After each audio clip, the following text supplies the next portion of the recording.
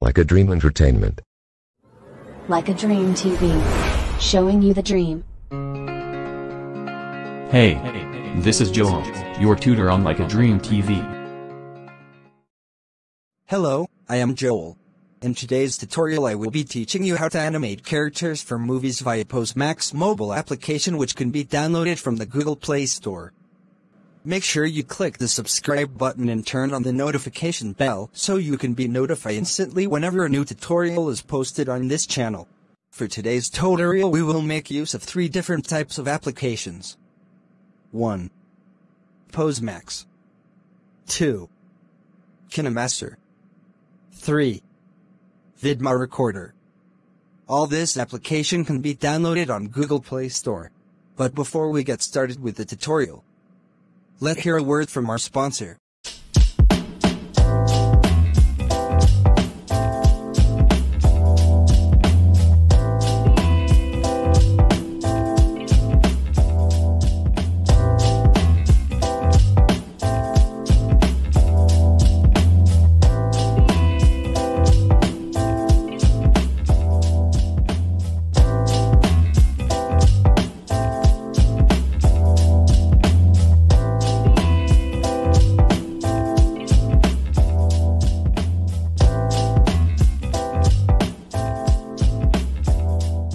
Am right back. Okay, let's start the tutorial now. First thing first, you click on Play Store and in the search box just type Posemax and uh, it brings out the result. Then click on the image and make sure you download Posemax. Also in this tutorial, we also need KineMaster and also Vidma Recorder, which is a screen recorder. And you can use any one that you know how to use best if you have any other type of screen recorder. Now let me launch my Posemax application. It takes me to the character editing environment. As you can see, I can zoom out and zoom in. Also, I can rotate my character. Posemax is very possible for me to change the type of character that I want to use for my animation. As you can see right now, I'm selecting different characters and also I can go below and select another character that is already pre-made just like this one. Yeah. And also on pose max it allows you to change the poses of each character that you're trying to use. Just like you see right now um, click on the poses from the top menu and I'll uh, change the poses of the character. As you can see I'm pushing on the slider right now to change the way the character react to the poses. So you can see that it's going left and right up and down. Just like that you can do the same thing by pushing the slider at the bottom of the screen. Also from the left menu at the top of the screen you can select the body part that you want to change the way it reacts. When you push the slider, you can change the poses by clicking on the body parts from the top left menu, just like the one you're seeing right now. And uh, you see the head is going left, right, going up and down. When I push the slider, it changes its reactions. So what you just have to do is uh, click on the left menu at the top and select the body part that you want to change its poses and you push the slider at the bottom.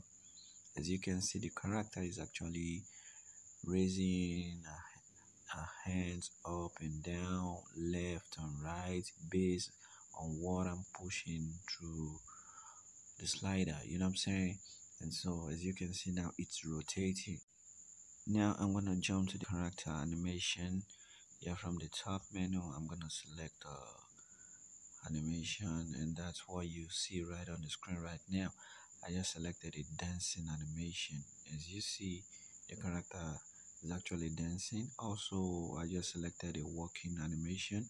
As you can see the character is actually walking. So there are a lot of preset animation on max pose which you can select and make the character do whatever you want. As you can see now the character is side walking all right now let me jump into the animation process proper so you can get everything you need to know. So the first thing I'm gonna do is click on settings at the top right of the application and I'll make sure I change the background color to green. And also at the top left I'm gonna select the grid and I'll make sure I select no grid to make the green plain. And the next thing I'm doing right now is I'll just go to my Vidma application minimize my Android window go to my Vidma application and select record. Then I'll go back to my pose max and uh, click on the animation and allow the character to move in the direction that I want or if there is a pose I want the, the character to do I'll make sure I push the slider left and right to make sure the character does that while the Vidma is recording the screen. So the next thing is I'm gonna stop my Vidma right now and that's what I've just did. So I'm gonna use my Google to search for a background that I'm gonna use with the animation. So my Google Chrome I'm gonna search image of a cartoon street. So I found some here. Now I'm gonna hold down the button on the image I want and click on download. So let me select one more image. Alright I found this. I hold my finger on the screen and click on download also. Now the next thing is for me to launch my kind master video editing application so I can edit everything that I want to do on the animation. So the first thing is uh, I just wait for the KineMaster to load up yeah I'm gonna click update later. The it's asking me to update my resources but I'll update that later. Now I'm gonna click on new editing. I'll select 16 by 9 now I'm gonna select the location of where my background for the animation is. Now select the right folder and uh, select the first background that's it. The background is now loaded into the editing environment. So now I'm gonna click on layer.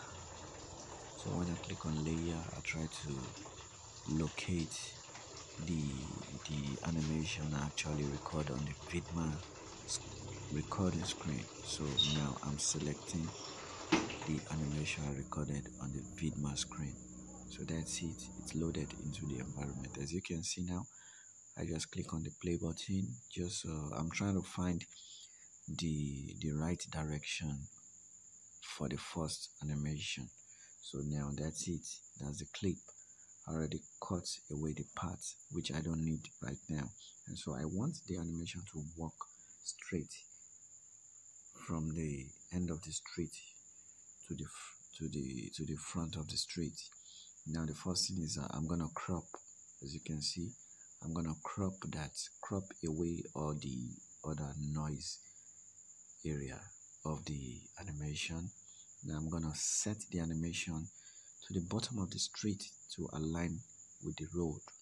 So the next thing is I click on my chroma key to remove the green background. Now that's it. The green background has been removed. So the next thing is for me to click on the animation key which is at the left of the screen the animation key uh, uh, the animation key is uh, is at the left of the screen. It looks like a key. That's it. You click on it. Now you move the timeline a little bit forward. Then you click on the plus sign at the right side of the animation. That's it. I've clicked on it. Now the next thing is for you to move the character downward okay like I did I moved it downward. You don't need to click the key anymore. The keyframe will automatically be added by itself. That's it. Now if you want to animate again all you just have to do is keep moving the timeline. The keyframe will be added automatically. Now another keyframe has been added. Now I want to zoom the character so I've zoomed it and placed it back to where it belongs. But there's a keyframe there already and so you can see I've moved it back. That's a testing moves. You can see the character moves from the end of the street to the front. Now I'm gonna click on the split button on the layer. So reason why i'm clicking on the split button is because i want to select the other direction of the character facing left and i'm moving to the left side. So that's why i i decided to cut that layer right there. So now that's that now i've splitted the the layer.